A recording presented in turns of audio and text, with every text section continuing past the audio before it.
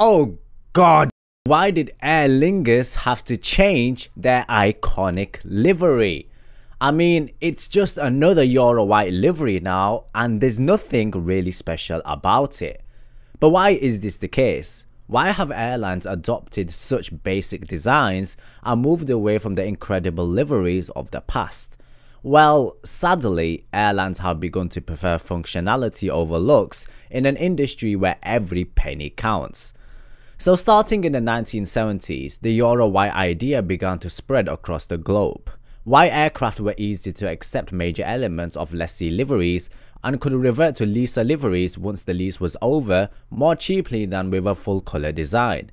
Given that many aircraft used by airlines are leased, this was a big reason for the Euro white trend. Transworld Airlines 1975 livery was one of the first Euro white colour schemes to be adopted outside of Europe. Now more complex liveries take longer to paint, meaning more time on the ground not making money. Furthermore, white paint is lighter and it also reflects heat, meaning less air conditioning is required on the ground, saving fuel that would be burned by the aircraft's APU.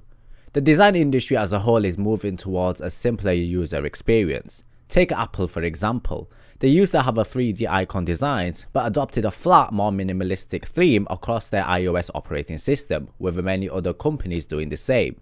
What's interesting is that budget airlines have mainly stayed away from the Euro white colour scheme, whilst legacy carriers seem to be adopting it. The likes of Southwest, Wizz Air, Jetstar and Tiger Airways have all interesting liveries.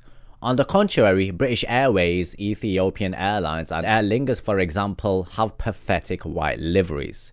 Now one might ask, shouldn't the budget airlines be more interested in cutting costs with Euro white liveries? It seems that budget airlines understand the value of investing in their brand and liveries, whilst legacy carriers seem to think that since they've been around for so long, they don't need to pour money into their branding. But perhaps there is hope and I ask Europe to look towards the Pacific for inspiration. Small island carriers like Fiji Airways, Island Air and Hawaiian Airlines have incredible liveries which honour their local heritage in an effort to stand out from the crowd.